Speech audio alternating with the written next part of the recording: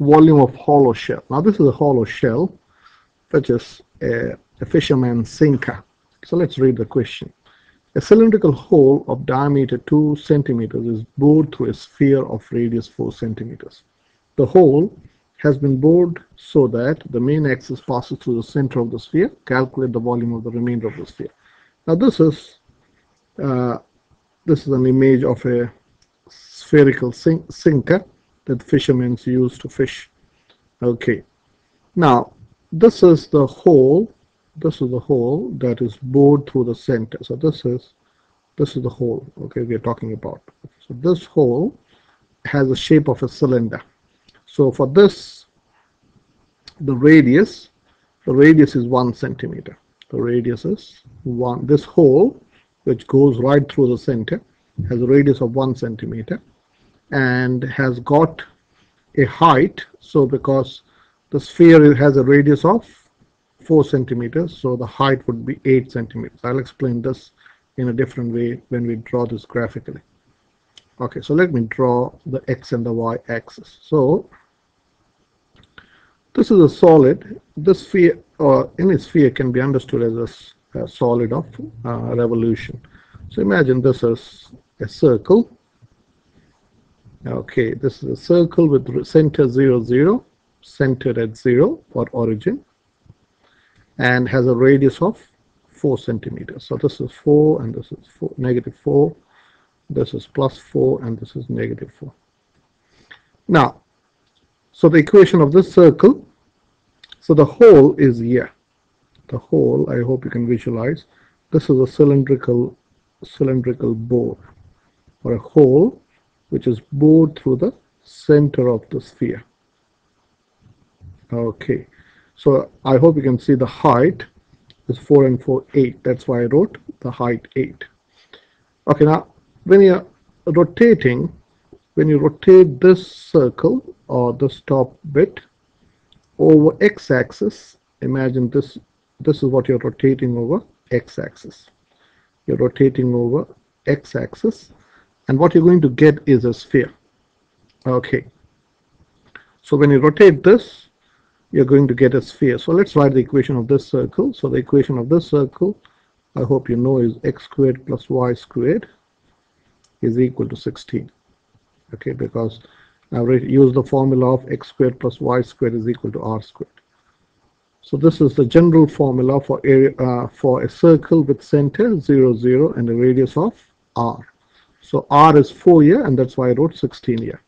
So can I write y squared is equal to 16 minus x squared.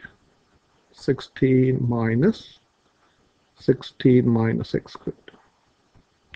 So so the volume of the remaining remainder of the sphere would be the volume of this sphere take away the volume of this hole. So let's write the volume of the hole first.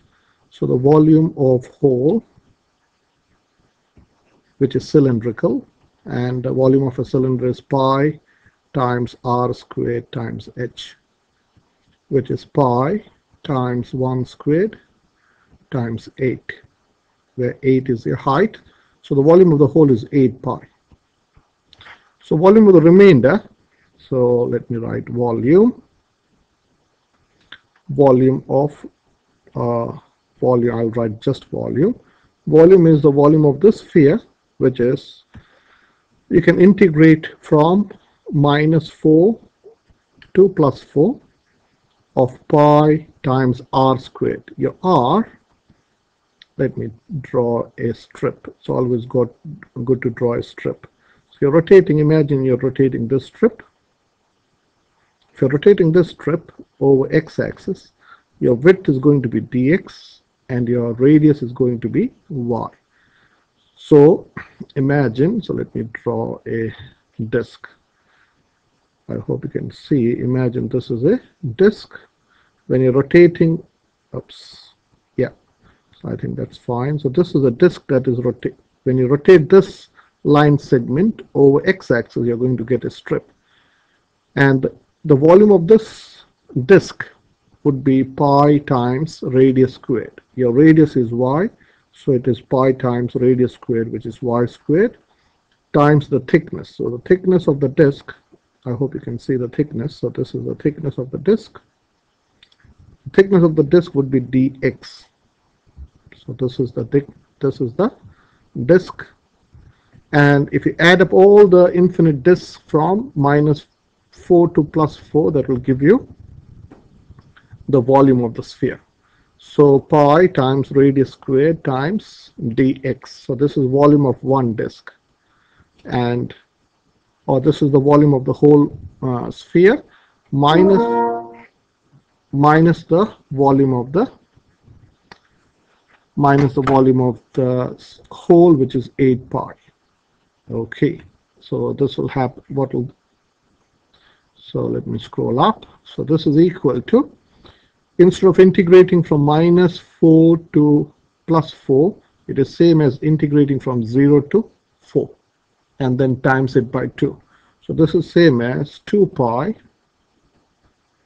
times integration from 0 to 4 of y squared. What is y squared? Y squared is 16 minus x squared dx minus 8 pi okay so let's go over this very slowly. So this is 8 pi. So integrating this so when integrating 16 you get 16x minus x cube over 3 from 0 to 4 minus 8 pi. You can pause this video and try to do the rest yourself. So this is equal to 2 pi times if I put this back it's 4 times 16 times 4 is 64 minus minus this is 4 cube which is 64 over 3 minus 8 pi. So this is let me get my calculator. So menu run. So 64 minus 64 ABC3 which is 128 over 3 so this is 2 pi times 128 over 3 minus 8 pi. Okay, so this becomes, this is 256 pi over 3 minus 8 pi. So let me do this. So this is times by 2 will give you 256 pi over 3, take away 8, which is 232 pi over 3. So the final answer is 232 pi over 3 and let's get the exact answer.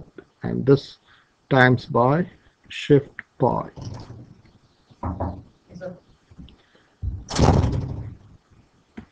So this is 243 pi over 3 and so answer so the final answer is 242.9 centimeter cube. 242 0.9 centimeter cube is the volume of this sphere which has a hole from the middle